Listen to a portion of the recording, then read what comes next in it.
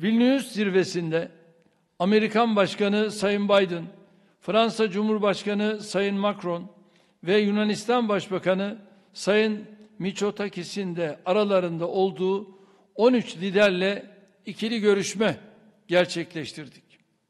Bu görüşmelerde bir kez daha gördük ki komşularımız başta olmak üzere bizim hiçbir ülke ile çözülemeyecek sorunumuz yoktur.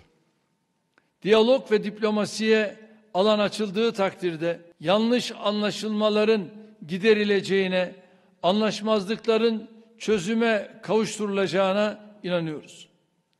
Son 21 yılda bunu pek çok kez başardık. Komşularımızla ve diğer ülkelerde aşılmaz denilen nice engeli aştık. Aynı başarıyı bugün de yakalamamızın önünde hiçbir mani bulunmuyor.